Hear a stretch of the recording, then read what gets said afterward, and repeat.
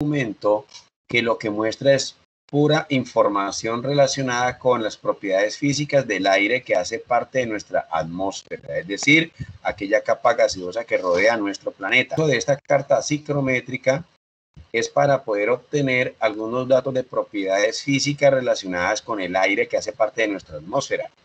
Entonces, vamos a tomar como referencia un ejercicio que aparece en el taller, que es el ejercicio que aparece marcado con la letra J. Regularmente, la carta psicométrica se utiliza en aquellos problemas que, abren sobre, puede ser de secado, como en este caso, o puede ser de humidificación. Entonces, o, aumentarle la humedad a un producto o disminuirle la humedad a un producto. No siempre va a ser secando. Eso ya depende de las necesidades propias que se regeneren en alguna etapa de proceso a nivel industrial. Yo voy a hablar sobre aspectos generales que se requieren en el momento de resolver un problema de balance de materia. Aquí había empezado una parte, yo no voy a dejarlo hasta allí y voy a explicar el resto. Dice así, en esto, esto que estoy mostrando aquí es un diagrama de bloques. En este diagrama de bloques se muestran cuántos, digamos, dispositivos o elementos vamos a utilizar en, esa, en ese proceso que nos van a indicar en este enunciado. Y lo otro que me va a indicar es la forma como yo debo colocar los flujos de entrada y salida en el secador. Para este caso, secador, recuerden, no siempre vamos a secar. En algunas otras oportunidades vamos a humidificar. Entonces dice aquí que se desea secar 100 kilogramos de un mineral. Cuando ustedes le digan la palabra mineral, así solito, se refieren a mineral húmedo. Si van a hablarle de mineral seco, le tienen que decir que el mineral está completamente seco. ¿Y qué significa un mineral seco? Pues un mineral seco significa que está libre por completo de humedad. Es decir, solamente nos referimos es a la estructura física de ese mineral que no contiene nada de agua. Entonces aquí nosotros vamos a dividir la, digamos, la composición de una sustancia en dos partes. Es decir, el agua la vamos a dejar aparte y todo lo demás, todo lo que es sólidos, lo vamos a llamar la parte seca. Entonces, cuando hablemos de mineral húmedo, el mineral húmedo se va a dividir en dos partes. Una que es el mineral seco, que aquí estoy, lo estoy representando con las iniciales MS. Entonces, ese es el mineral seco y el otro es el agua. Entonces dice que se desea secar 100 kilogramos de un mineral que contiene 60% de humedad y llevarlo hasta un contenido de humedad del 10%. Para ello se utiliza aire a contracorriente. Entonces aquí empezamos a definir una serie de términos. ¿Qué significa el término a contracorriente? Cuando hablamos de contracorriente significa que se van a encontrar uno de frente al otro. Entonces yo he colocado aquí el mineral húmedo entrando por la parte inferior izquierda y saliendo por la parte inferior derecha. Entonces, si yo coloqué el mineral de izquierda a derecha, para que se encuentre a, contracorriente, pues voy a colocar el aire entrando desde derecha a izquierda. ¿Por dónde lo vamos a colocar? Entonces vamos a colocar acá por la parte superior. Entonces vamos a colocar aquí el flujo de entrada y por acá tendríamos el flujo de salida. ¿Qué es lo que estaría entrando? Aquí lo que está entrando es aire húmedo. Y como acabamos de decir, el aire húmedo es la combinación de dos sustancias. ¿Cuál es una de las dos sustancias? Pues una de ellas es el agua y la otra es AS, es decir, el aire seco. ¿Listo? Bueno, y pues, ¿qué es lo que va a salir? Pues lo que va a salir también es aire húmedo. Pero con una composición diferente a la de entrada. Entonces, este aire húmedo de nuevo también está compuesto por dos sustancias. Una de ellas es el agua y la otra es el aire seco. ¿Listo? Pues vamos a hacer una rayita aquí para que coloquemos los valores que vamos a obtener ahora. Entonces, agua y aire seco. ¿Qué me dicen acerca del aire que voy a utilizar para el secado? Dice, para ello se utiliza aire a contracorriente que ingresa a una temperatura de 25 grados centígrados. Es decir, que este aire húmedo por la parte superior derecha está entrando a una temperatura de 25 grados centígrados.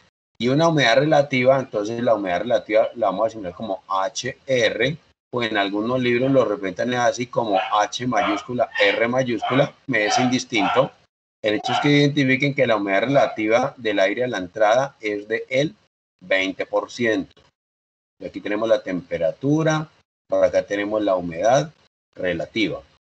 Dice que si el aire sale, entonces si sale, entonces nos vamos a ubicar en el flujo que se encuentra para acá en la parte superior izquierda.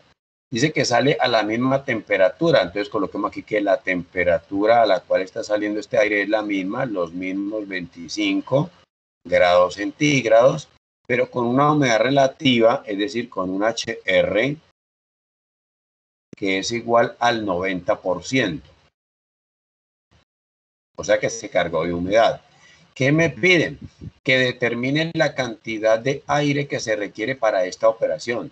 Y en este caso, ¿cuál es la cantidad de aire que se requiere para la operación? Pues sería la cantidad de aire que ingresó por la parte superior derecha. Entonces, como yo tengo identificados allí dos flujos que entran y dos flujos que salen, pues hombre, yo voy a enumerar cada uno de los flujos. ¿En qué orden ustedes seleccionan el orden que ustedes quieran? cuál quieren que sea el flujo 1, cuál el 2, cuál el 3 y cuál el 4, eso ya está a gusto suyo. El hecho de que aparezca en la gráfica quiénes son cada uno de los flujos. Digamos que yo quiero que el flujo número 1 sea el aire que entra. Entonces, este que el aire que entra es el flujo número 1. Que el aire que sale es el flujo número 2. Que el mineral que entra sea el flujo número 3. Y el mineral que sale es el flujo número 4. ¿Listo? Es una vez identificados cada uno de los flujos, ¿listo? Este es el esquema básico de la información que me están dando en el enunciado. Donde voy a resumir la información de los datos y de las cantidades de los flujos que están circulando eh, a la entrada y a la salida de este, de este bloque que se llama el secador. Lo vamos a resumir en esta tablita. Lo que aparece con rojo, chicos, por favor, no se les vaya a olvidar. Esto que está con rojo es de carácter obligatorio indicarlo. ¿Por qué? Porque es lo primero que yo voy a revisar. Por eso lo coloco con rojo para colocar allí, vea, alerta, alerta. Esto es fundamental de que ustedes lo coloquen. Lo primero es que ustedes definan la base de cálculo. ¿Qué es una base de cálculo? Pues una base de cálculo es un valor que ustedes deben tomar de aquí, ahorita vemos cuál sería un valor que ustedes van a tomar como referencia. ¿Para qué? Para poder determinar los valores que van a ir en esta tabla y que todos estos valores van a estar referidos a esta base de cálculo. Ahora, ¿qué, ¿quién puede ser la base de cálculo? La base de cálculo puede ser un tiempo. Si en el enunciado me estuvieran dando, por decir algo, jornadas laborales, digamos, si me hubieran dicho que estos 100 kilogramos de mineral es lo que se procesa, digamos, en un día de trabajo, entonces ustedes podrían tomar como base de cálculo, pues un día de trabajo. Y si ustedes toman como base de cálculo un día de trabajo, pues entonces, ¿qué cantidad de mineral estaría entrando al proceso en un día? Pues estos 100 kilogramos. Pero otra persona puede decir, no, es que yo no quiero tomar un día, yo quiero tomar una semana.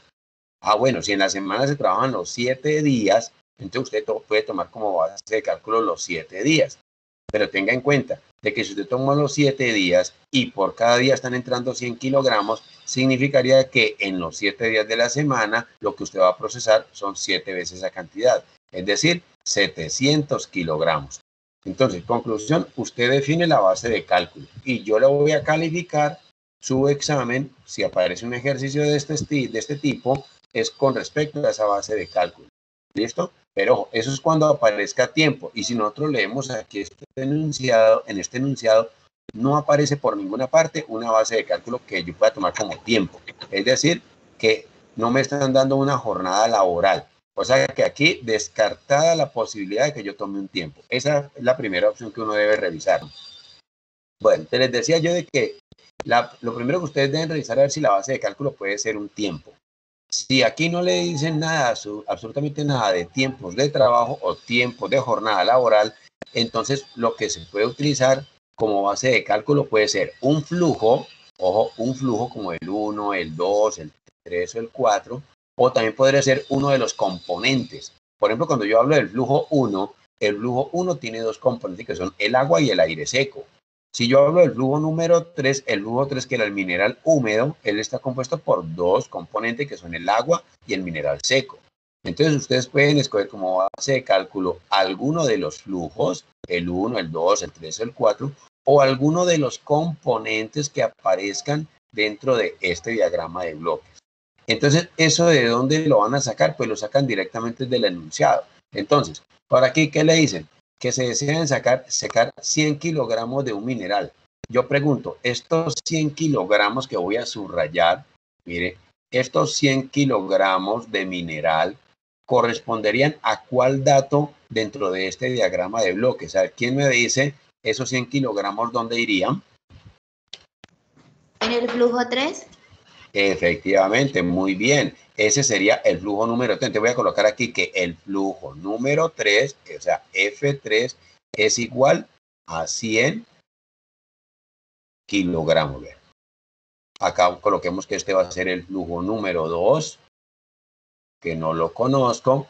El que está al frente va a ser el flujo número 1, que inclusive el flujo número 1 es el que me están preguntando, porque es la cantidad de aire que yo voy a utilizar en el proceso y este que está por acá sería el flujo número 4, que por el momento no lo conozco tampoco.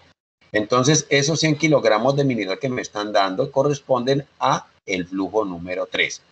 Y resulta que hay otro dato que no hemos colocado, ¿no? Que me dicen que el contenido de humedad del, del mineral a la entrada es del 60%. Entonces, ah, o sea que aquí al ladito del agua le colocamos el porcentaje de humedad, o sea que hay 60% de agua y obviamente pues el resto del otro 40% pues sería el mineral seco.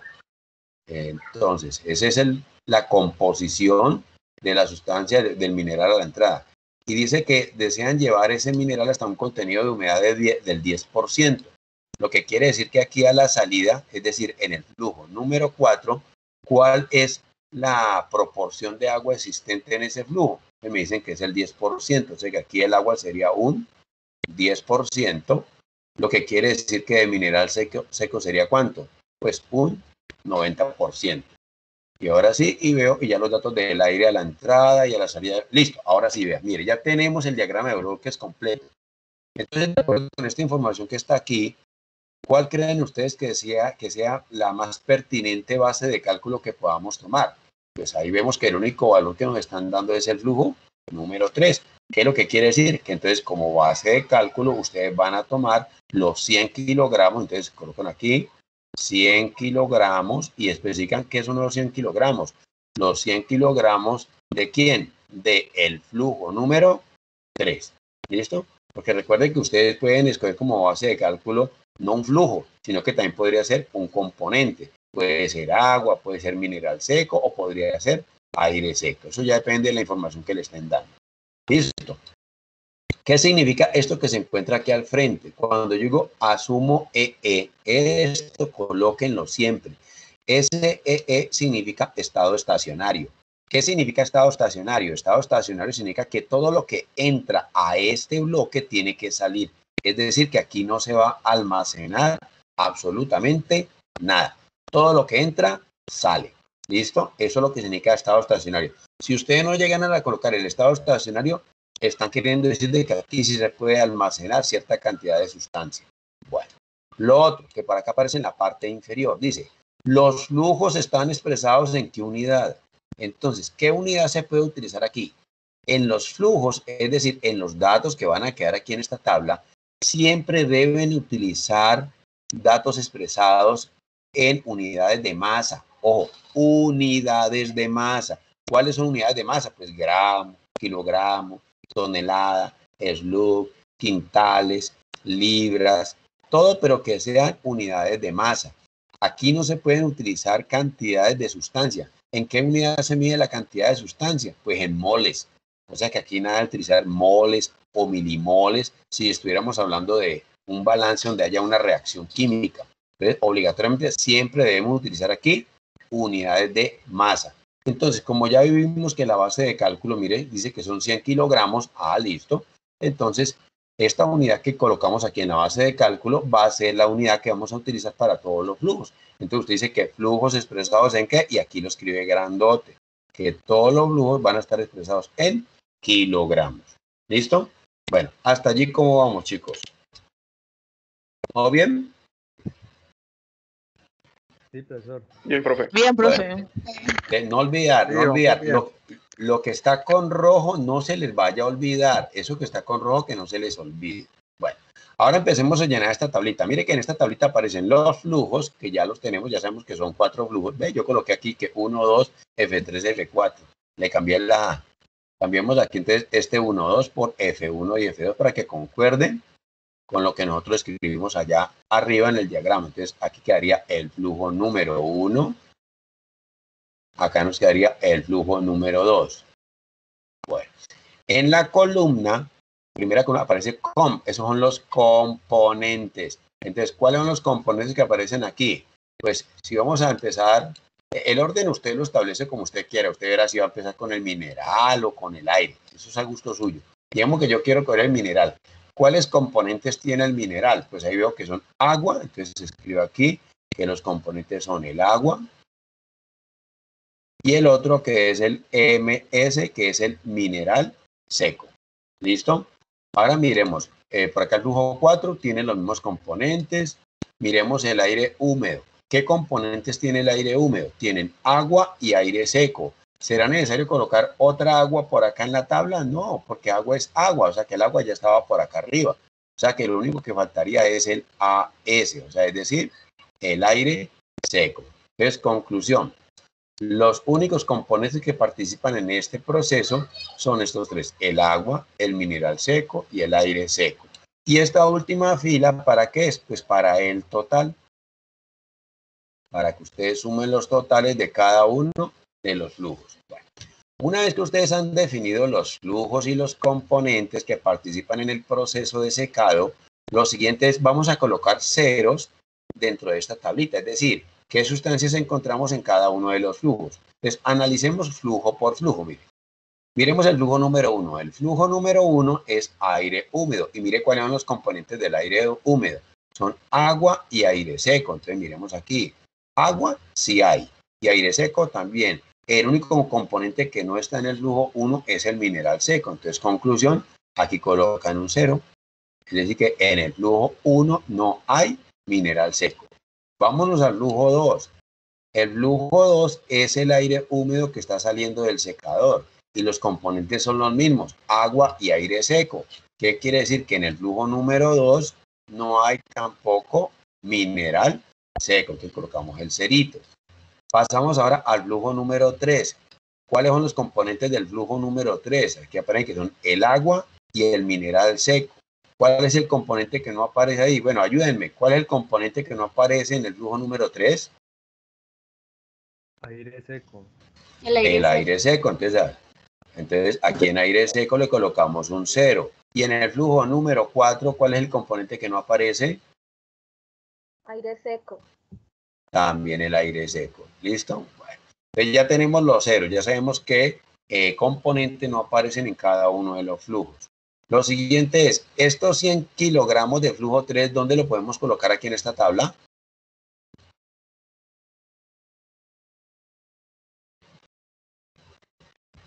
¿Mm? ¿Quién me- El- efectivamente, sería el total del flujo número 3, o sea que aquí iría grandote el número 100. Bueno, entonces mire, pongámonos de acuerdo para que no vamos a tener dolor de cabeza ya en el momento del examen. Profe, ¿con cuántas cifras decimales vamos a trabajar para que unifiquemos criterios? Entonces, de una vez vamos a definirlo. Vamos a trabajar hasta con tres cifras decimales. O cuando tengan un dato que redondearlo porque le dio más de tres cifras decimales, por favor redondeelo a tres cifras decimales. ¿Listo? Bueno, listo. Entonces ya sabemos dónde va ese flujo número 3. Ahora sí empezamos. Vamos a ver. Como ya tengo un dato del flujo número 3, pues por ahí es que voy a empezar. Voy a empezar por el flujo número 3. ¿Qué conozco del flujo número 3? Ah, conozco la composición. Me dicen que el 60% es agua y el 40% es mineral seco. ¿Listo? Pues uno puede sacar así a, ojo de buen cubero de que si son 100 kilogramos y el 60% es agua, pues uno coloca aquí, pues uno coloca aquí directamente, no, pues yo que me voy a poner a perder tiempo. Pues ya sé que serían, recoloquémoslo con rojito,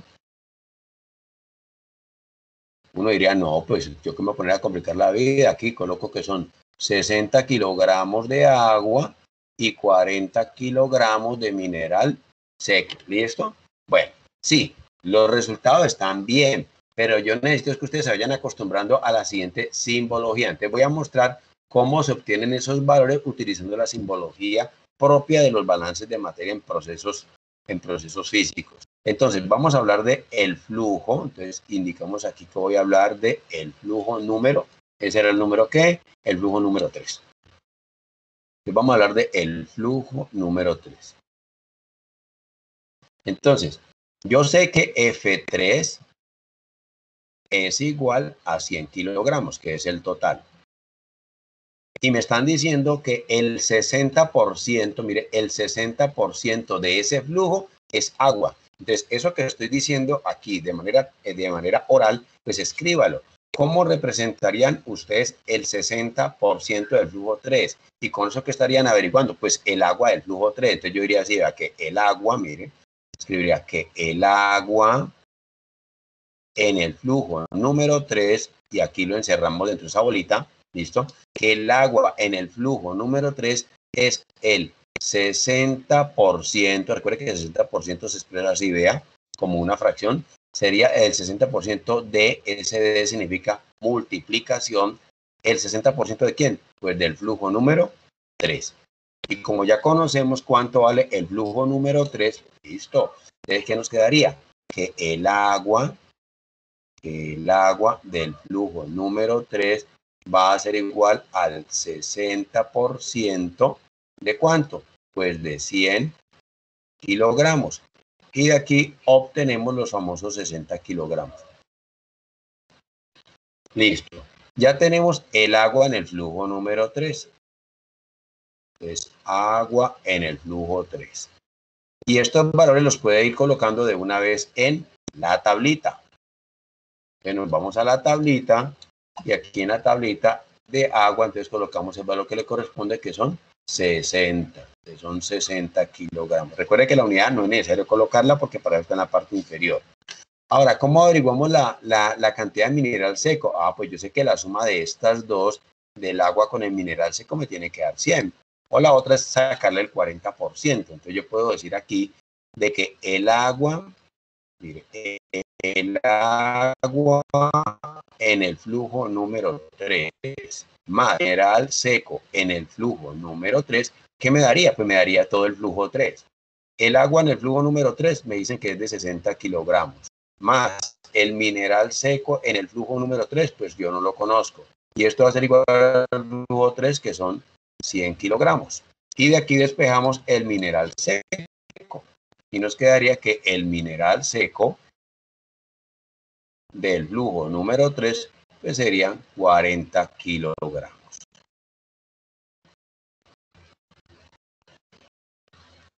Entonces venimos y ese dato lo colocamos aquí en la tabla. Entonces de mineral seco son 40 kilogramos. Bueno, hasta allí eso no tiene ciencia. Esto estamos en la parte sencilla del asunto. Ahora sí empieza la parte buena. ¿Por qué creen que le llaman a esto balances de materia? Si le llaman balances, porque recuerden ustedes que cuando uno hace un balance, ¿se acuerdan ustedes cuál es la ecuación de la partida doble? Claro, a ustedes les va a tocar ver contabilidad, les toca ver costo y toda esa cuestión, ¿no? Entonces, la ecuación de la partida doble dice que los activos menos los pasivos es igual a qué? Al patrimonio más el capital. Aquí el patrimonio y el capital sería lo que se ahorra. ¿Listo? Pero como dijimos que es estado estacionario, aquí todo lo que entra tiene que salir. Entonces, ¿qué significa que todo lo que entra salga? Pues que los activos tienen que ser igual a los pasivos. Entonces, ustedes cuando quieren hacer balances, ustedes pueden hacer balances de diferentes tipos. Ustedes pueden hacer balances por componentes. Cuando digo por componentes, puede ser balance de agua, balance de mineral seco o balance de aire seco. Usted puede hacer balance de componentes o también puede hacer balance de flujos, es decir, del flujo 1, flujo 2, o sea, es decir, todos los flujos que participen en un, en un bloque o en una parte de un proceso. ¿Listo? En este caso, como puedes, tenemos un bloque, un secador, pues yo voy a hacer un balance, a ver, voy a hacer inicialmente un balance eh, yo qué sé, digamos, voy a tomar como referencia aquellas sustancias que solamente entren y salgan por el mismo sitio. Por ejemplo, por el flujo 3 entraron el agua y el mineral seco. Este mineral seco que entró por el, que entró por el flujo número 3, busquemos las salidas. Las salidas son 2 y 4. ¿Será que este mineral seco que entró en 2, que entró en 3, puede salir por acá por el flujo número 2? No, porque en el flujo número 2 solamente hay agua y aire seco. Lo que quiere decir que este mineral seco que entró en 3, ¿por dónde tiene que salir obligatoriamente? Por el flujo número 4. ¿Listo?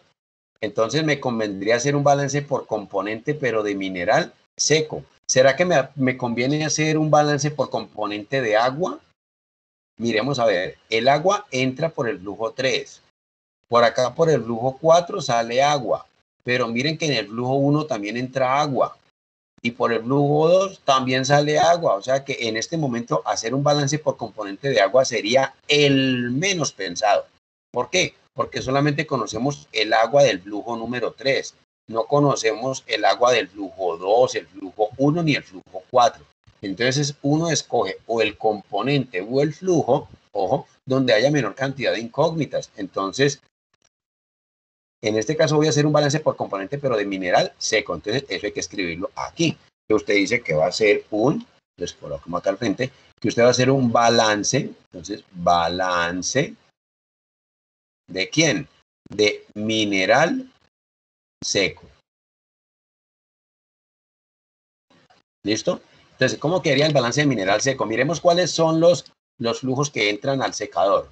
La flechita me diga, entra en el flujo 1, y el flujo 3 y salen el 2 y el 4. Ah, o sea que entran los impares y salen los pares.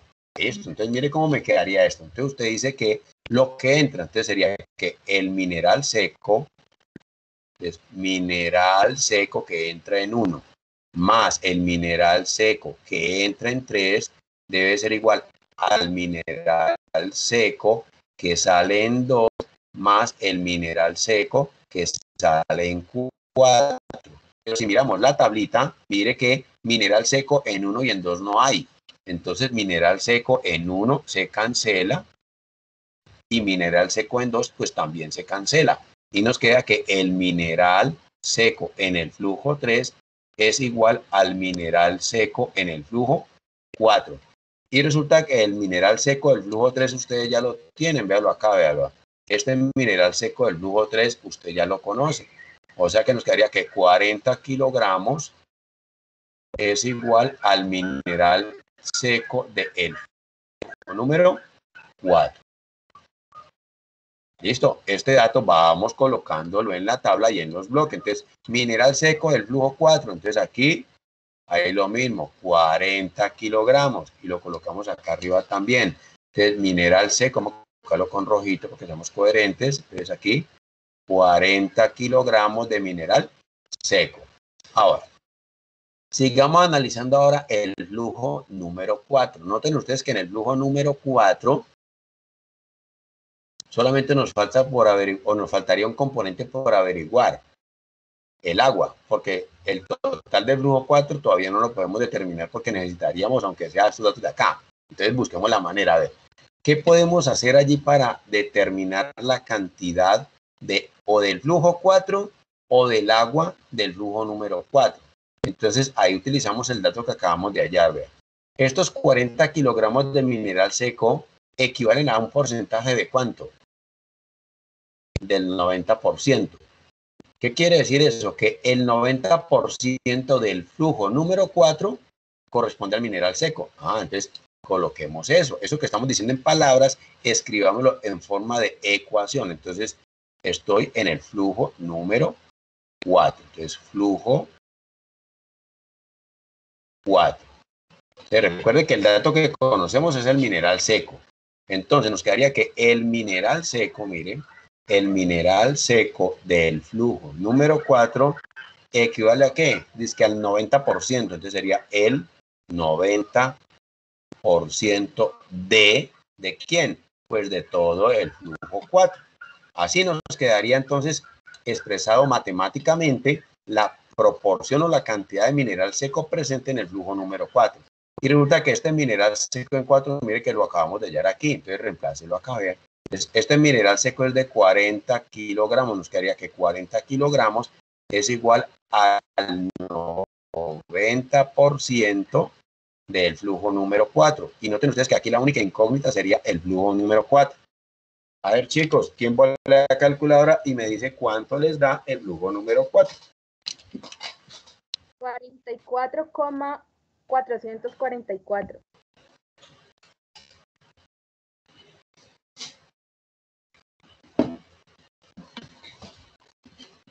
Yo también voy a hacer mis cálculos por acá, pues sería 40%, ¿no? Dividido entre 90. Y eso nos da la mágica suma de 44,440. Quedamos que, que íbamos a trabajar con cuatro cifras decimales, ¿no? Que nos quedaría que esto es igual a 44,444 kilogramos. Y mire que aquí obtuvimos todo el flujo número 4. Listo. Como ya tengo todo el flujo número 4, pues ese valor lo coloco aquí. Entonces, todo el flujo número 4 vale 44,444. Y lo pueden colocar también allá arriba en el diagrama de bloques. Entonces, todo el flujo 4 tiene un valor de 44,444 kilogramos. ¿Listo? Ahora, ¿cómo averiguamos el agua del flujo número 4? Pues haciendo algo parecido a lo que hicimos aquí, eh, lo que hicimos aquí en el flujo número 3, vean, que la suma de los componentes pues me daría el flujo. Es decir, que si yo cojo el mineral, negrito, negrito, si yo cojo el mineral seco del flujo 4 y le sumo el agua del flujo número 4 que obtengo, pues todo el flujo 4. El mineral seco del flujo 4 me dicen que es de 40 kilogramos. El agua del flujo número 4 es la que voy a hallar. Y todo el flujo 4 nos dio 44,444 kilogramos. Y de ahí obtenemos que la cantidad de agua presente en el flujo número 4 sería 4,444 kilogramos. Entonces, ese dato venimos y lo colocamos aquí en la tabla. Entonces, en la tabla la cantidad de agua es 4,444 y acá arriba también en los bloques. Sería el agua es 4,444 kilogramos. Hasta allí, noten ustedes que todavía no hemos utilizado la ciclometría. Esto que estamos haciendo aquí es lo que llaman balances de materia. ¿Listo? Es decir, determinar los componentes en cantidad de masa que hay a la entrada y a la salida de los flujos. Ahora sí, vamos a ver qué datos me están dando con respecto al aire a la entrada y a la salida. Miremos a ver. Me dicen que el aire húmedo que está entrando a la entrada, mire, que está entrando, suena feo, que entra por acá por la parte superior, dice que entró con una temperatura de 25 grados centígrados y una humedad relativa del 20%. Voy a colocarlo aquí con otro colorcito. Miren este par de datos que me están dando aquí, vean. Son datos que corresponden al aire. ¿Listo? ¿Esos datos para qué me sirven? Estos datos de temperatura, cuando leen temperatura, temperatura así solito, es la temperatura de bulbo seco. ¿Listo? Y esta es la humedad relativa del aire que está ingresando al proceso. Esto me va a servir para irme a la carta psicrométrica y ubicar un punto en la carta psicrométrica para poder determinar la humedad absoluta. Entonces, ojo con los dos datos. Temperatura 25 grados centígrados y humedad relativa del 20. Que me voy a la carta psicrométrica. Listo. Entonces vamos a ubicar con colorcito rojo la temperatura. ¿Cuánto era la temperatura? ¿Me quedaron dormidos? Listo. Entonces mire, vea. Aquí Entonces, mire, 25 grados centígrados. Aquí voy a pegar. Entonces yo empiezo a subir, ¿no? Con líneas punteadas. 25 grados centígrados. ¿Cuál es la curva de humedad relativa del 20%? Entonces, mire, estas curvas que están aquí inclinaditas, las que estoy marcando con el puntero del mouse, son las curvas de humedad relativa. Busquemos la del 20%, mírenla aquí, ¿verdad? Ahí la estoy marcando. Ah, esta es la humedad relativa del 20%, entonces me vengo por aquí, por aquí, por aquí, por aquí, por aquí, hasta llegar a los 25 grados centígrados. O sea que vendría siendo en este punto. ¿verdad? ¿Listo? Te voy a repetir, vea, aquí encierro la humedad, vea, esta es la humedad relativa, 20%, y aquí está la temperatura, que es de 25 grados centígrados. De esa manera, intersectando ese par de curvas, obtengo este puntico. ¿Para qué me va a servir ese puntico? Pues para que yo lea la humedad absoluta. Y resulta que la humedad absoluta, ¿dónde se lee? Entonces se lee así, vea, horizontalmente, con líneas punteadas, marcamos, y llegué aquí. Y miren el valor que estamos leyendo aquí. Sería 4. Este que está aquí sería la H minúscula de quién? Del aire a la entrada. ¿Y cómo hemos llamado el aire a la entrada? Lo llamamos flujo 1, o sea que esta es la humedad absoluta 1. ¿Listo? Ahora, ese H1 sería igual a cuánto? A 4. ¿A 4 qué? Entonces, lea lo que dice allí, que está dirigido, colocado de manera vertical. Dice, contenido de humedad. Y dice ahí, gramo sobre kilogramo de aire seco. O sea que este 4 no es adimensional. Este 4 serían 4 gramos de quién? Pues de agua. ¿Sobre qué? Sobre kilogramo de aire seco. Listo, o sea que ya tengo ese dato. Entonces me voy acá, otra vez, listo. O sea que para el flujo número uno, aquí la humedad absoluta fue de 4 gramos sobre qué? Sobre kilogramo de aire seco. Bueno, ahora miremos a la salida. ¿Qué datos conocemos del aire a la salida? Y resulta que tenemos la temperatura 25 grados centígrados y la humedad relativa del 20%, del 90%. Entonces vamos de nuevo a la carta psicrométrica. Entonces, la temperatura me dicen que sigue siendo la misma, o sea, los mismos 25 grados centígrados, pero la humedad relativa ahora es del 90. Entonces busquemos la curva de humedad relativa del 90%. La voy a encerrar por acá arriba la esta es la curva de humedad relativa del 90%, lo que significa que entonces este que está aquí es el punto número uno que corresponde al aire a la entrada. ¿Listo? Vamos a ubicar ese punto de la salida. Entonces ustedes lo que vienen es, bajan por la curva de humedad relativa del 90, sigue bajando, sigue bajando hasta que se intersecte con la temperatura de 25 grados centígrados y la temperatura de 25 vendría siendo aquí, ¿verdad? Entonces, ¿cómo uno el punto 1 con el punto, aquí quedaría el punto número 2. Este 2, ¿por qué? Porque nosotros llamamos a ese, al flujo a la salida, el flujo número 2. Si en el, ojo, si usted hubieran llamado a los flujos del el aire a la entrada y a la salida flujo 3 y flujo 4, pues en este caso esto no, llamaría, no se llamaría ya punto 1, sino sería punto 3, que representa el flujo 3 y acá arriba sería el punto número 4. Es decir, utilicen como nombres de estas coordenadas los nombres de los flujos que hayan asignado en el diagrama de bloques.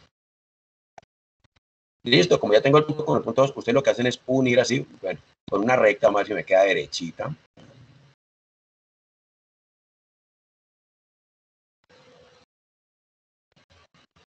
Listo y la flechita indicando que se movió de dónde hacia dónde. O sea que me moví de abajo hacia arriba y aquí donde está ubicado el punto número 2 leemos horizontalmente y aquí encontramos un valor B, 18. ¿Listo? Que corresponde a quién? Este sería el valor de la humedad absoluta a la salida del proceso. O sea que el aire húmedo va a salir con una humedad absoluta de 18 ¿qué? 18 gramos de agua sobre kilogramo de aire seco. ¿Listo? Entonces, Mire para qué me sirvió la carta psicométrica. Esta carta psicométrica deben anexarla al examen. Ojo, chicos, lo que estoy diciendo. Esta carta psicométrica debe aparecer en el examen para que me muestren de dónde sacaron estos valores, o sea, qué valores fueron los que leyeron. Necesito saber si leyeron bien la carta psicométrica o no. Bueno, entonces anexarla. Entonces H2 vale 18. Entonces vengo para acá y le coloco aquí que la humedad absoluta del aire a la salida es de 18 gramos de agua. ¿Sobre qué? Sobre kilogramo de aire seco. Bueno, ahora sí, ¿para qué creen que me sirvan esas humedades absolutas? Entonces, vamos a ver, ¿quién de ustedes estudió juiciosamente ese material? La guía, ¿eso aparece en la guía o lo explico en el video? ¿Alguien nos puede decir para qué es que sirve en realidad esa humedad absoluta que uno saca de la carta psicométrica? ¿Nadie? Hmm, bueno, sigan así. Entonces, mire para qué me sirve. Resulta que primero apliquemos un factor de conversión. Esta humedad absoluta le va a servir a usted es para que determine la composición, ojo, la composición del aire a la entrada o la composición del aire a la salida, es decir, cuál es el porcentaje de agua y el porcentaje de aire seco. Pero entonces mire que aquí me queda muy tenaz sacar porcentajes cuando arriba aparecen gramos y abajo aparecen kilogramos. Entonces, cuando yo voy a establecer proporciones, debo trabajar con el mismo sistema de unidades. Entonces, lo que voy a hacer aquí es aplicar un factor de conversión y convertir esos gramos de agua, los gramos de agua, a kilogramos de agua. Entonces aquí los gramos de agua con los gramos de agua chao. Entonces yo sé que un kilogramo equivale a cuánto? Pues a mil gramos. ¿Y cuánto nos daría esto? Esto nos daría 0,004 ¿qué? kilogramos de agua sobre kilogramo de aire seco. Cuando digo sobre kilogramo es porque el denominador aquí es un 1. ¿Listo? Entonces mire cómo se saca la proporción de agua y la proporción de aire seco. Digamos que voy a sacar la proporción de agua, es decir, el, bueno, me con el aire seco. Porcentaje de aire seco. ¿Listo? Entonces, mire, ¿qué cantidad de aire seco hay en ese aire? Mire, ¿qué cantidad de aire seco hay presente? Dice que aquí, de acuerdo con el denominador, dice que hay un kilogramo de aire seco. Entonces, hay un kilogramo de aire seco sobre el total, recuerden que un porcentaje siempre es el componente, que en este caso es la cantidad de aire seco, sobre el total. Y el total sería la suma de el kilogramo de aire seco con la cantidad de agua. Entonces noten ustedes que en el numerador está la cantidad de agua y en el denominador la cantidad de aire seco. Ah, o sea que la suma de estos dos me daría la, la cantidad total de agua y aire seco que hay allí, es decir, aire húmedo. O sea que sobre el total que sería 1,004 kilogramos. Y esto multiplicado por el 100%. ¿Y cómo hallaríamos el porcentaje de agua? Pues siguiendo un procedimiento similar. ¿Cuál es la cantidad de agua? Pues lo que está en el numerador que es 0,004 kilogramos sobre el total que es la suma del numerador con el denominador que es 1,004 kilogramos y esto multiplicado por el 100%. Y lo que nos queda es bolear calculadora. Entonces, ¿cuánto nos daría el de arriba? El de arriba nos quedaría es 100 dividido 1.004. Y recuerden, quedábamos en trabajar con tres cifras decimales. Esto nos daría 99,602 por ciento. ¿Listo? Ahora ¿Cuánto me haría el de abajo? Pues fácil, pues coja a 100 y réstele 99.602 y eso le haría 0,398. Es 0,398% sería el porcentaje de qué? De agua. Entonces yo puedo venir y colocar esos valores aquí. Entonces vamos a colocarlo con rojito. Entonces dice que de agua es 0,398%. Entonces 0,398%. y de aire seco es el 99,602%. Lo que usted hizo con el aire a la entrada, ahora hágalo con el aire aquí a la salida. ¿Listo? Entonces primero vamos a coger esa H2 por acá aparte. este H2 es de 18 gramos de agua sobre kilogramo de aire seco. Entonces yo sé que mil gramos de agua pues equivalen a un kilogramo de agua. Gramos de agua con gramos de agua, chao. Y esto nos daría la módica suma de 0,018. ¿Qué? Kilogramos de agua sobre un kilogramo de aire seco. Ahora saquemos entonces el porcentaje de agua y el porcentaje de aire seco. Entonces, porcentaje de agua, que sería la cantidad de agua, que es el numerador, 0,018 kilogramos, sobre el total, que es la suma de los dos, 1,018 kilogramos. Y esto multiplicado por el 100% y el porcentaje de aire seco, pues que sería el aire seco que está en el denominador, un kilogramo, sobre el total 1,018 kilogramos por el 100%. Y de esta manera obtenemos el porcentaje de agua y el porcentaje de aire seco. Que nos quedaría, el de aire seco sería 100 dividido 1.018 este nos daría 98,232. Es 98,232%. Entonces a 100 réstele 98.232 y obtiene el porcentaje de agua que sería 1,768%. Y listo. Entonces esas concentraciones las podemos colocar acá arribita. Entonces dice que de agua es 1, entonces el agua es 1,768% y de aire seco es un 98,232%. Listo. Entonces, mire, ¿para qué me sirvió la carta psicométrica? La carta psicométrica me sirvió para hallar esta humedad absoluta y esa humedad absoluta me sirve para hallar las composiciones o la composición del aire. Es decir, qué cantidad o qué porcentaje hay de agua y qué porcentaje hay de aire seco. Ahora sí. ¿Por dónde arrancamos aquí? Recuerden que aquí del flujo 3 y del flujo 4 ya conocemos todo. ¿Listo? Nos falta determinar son los flujos 1 y 2. Entonces lo primero que voy a hacer es, voy a hacer un balance total de flujos. ¿Listo? Entonces voy a escribirlo por acá aparte. Que voy a hacer un balance de flujos. Entonces aquí balance de flujos.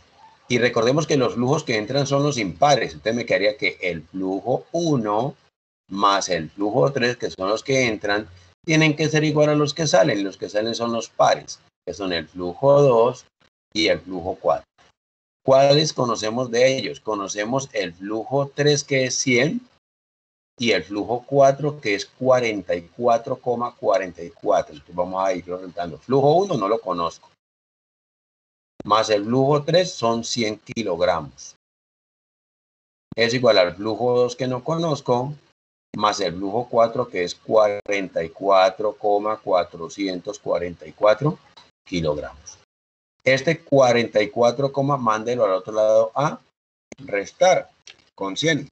Entonces, si usted coge 100 y le resta 44.444, eso le da la módica suma de 55. Entonces nos quedaría aquí el flujo 1 más 55.556 kilogramos. ¿Igual a quién? Pues igual al flujo número 2. Y llegamos a una ecuación que tiene dos incógnitas. ¿Cuáles son las dos incógnitas aquí? Pues el flujo 1 y el flujo número 2. O sea que esta es la ecuación número 1. ¿Listo? Recuerden lo que tenemos que hallar, ¿no? Lo que tenemos que hallar es el flujo número 1. Es decir, voy a colocar aquí el signo de interrogación, vea. Esto es lo que me están preguntando, la cantidad de aire necesaria para el proceso. Ya cuando la tenga, listo. ¿Necesito continuar llenando la tabla? No, después de que tengan el flujo 1, ya termino. Entonces, haciendo un balance de flujos, que nos quedaron dos incógnitas, el flujo 1 y el flujo 2. ¿Qué otra cosa podemos hacer? Pues lo único que nos queda es hacer ya balance por componente. Ahora, usted puede escoger, ¿será que me conviene hacer un balance por componente de agua o por componente de aire seco? Usted puede hacerlo con cualquiera de los dos. Si usted decide hacer el balance por componente de agua, bien. Si, si decide hacerlo por componente de aire seco, también. Yo lo voy a hacer por aire seco. ¿Por qué por aire seco? Porque yo sé que el aire seco acá, en 3 y en 4, no existe. Entonces me reduzco los cálculos. Pero si ustedes quieren hacerlo con agua, lo pueden hacer. Solo que cuando hagan el balance de agua, ahí sí tienen que tener en cuenta el agua de que hay en el flujo 3 y el agua que hay también en el flujo número 4. Entonces voy a hacer es un balance por componente, pero de aire seco. Entonces voy a hacer balance de aire seco.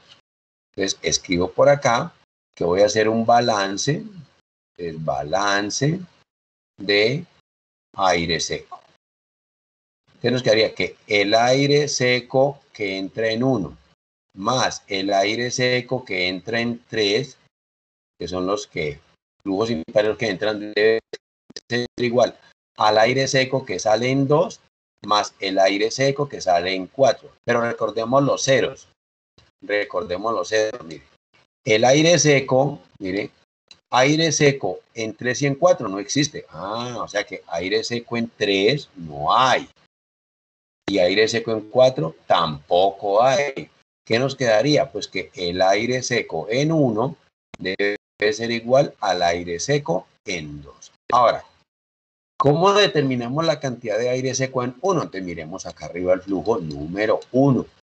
Aire seco en 1. Ah, dice que el aire seco es el 99,602% del flujo 1. Listo.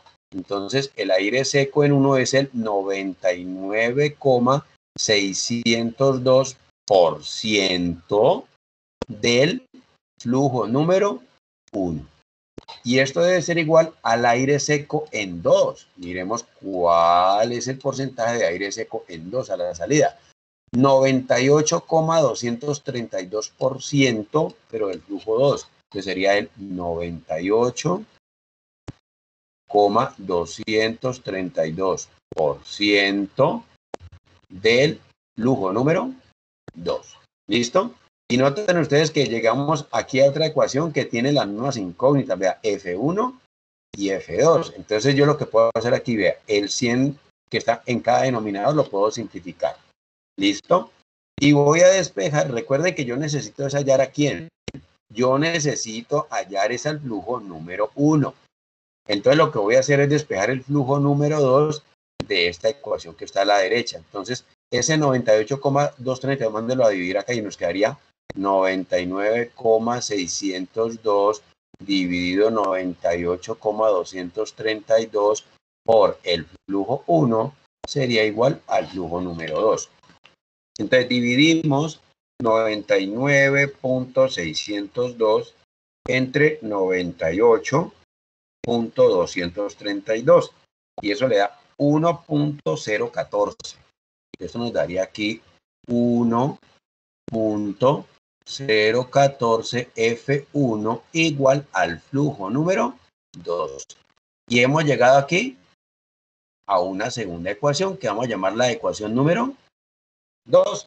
Listo, finalmente lo que nos queda es resolver este sistema de dos ecuaciones con dos incógnitas. Que resuelvo esta y esta.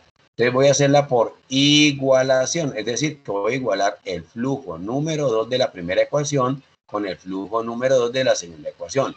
El flujo número 2 de la primera ecuación que dice que es F1 más 55,556 kilogramos. Y el flujo número 2 de la segunda ecuación es 1,014 del flujo número 1. Entonces, este F1 que está sumando, pues mándelo para acá restar y ¿qué me quedaría? Pues 55,556 kilogramos igual a que a 1,014 0,14F1 menos F1.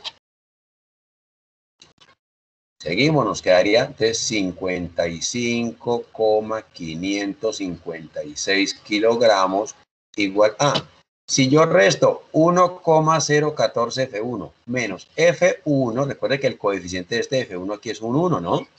Entonces nos quedaría 0,014 F1. Y mande el 0,014 a dividir. O sea que nos quedaría 55.556 dividido 0.014. Y eso le da la módica suma de 3.968, 3.968,286, tres cifras decimales, kilogramos, igual a quién? Al flujo número 1. Y recuerden que el flujo número 1 era la cantidad de aire, entonces este sería aire necesario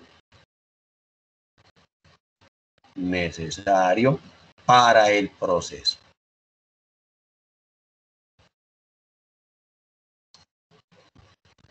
Listo, entonces me voy y lo coloco allá para que me quede bonito. De todas maneras ya terminó. O sea que aquí donde está el signo de interrogación, le quito ese signo de interrogación, chao, y colocamos el valor que es 3.968, 286. Que era lo que nos estaban pidiendo. Y si lo represento acá en el diagrama de bloques, pues vendría siendo aquí donde está este signo de interrogación. Vamos a ampliar esto. Entonces, el signo de interrogación estaba aquí, el dúo número 1. O sea que de nuevo es 3.968, entonces 3.968,286 kilogramos. Y esto es lo que nos estaban pidiendo calcular.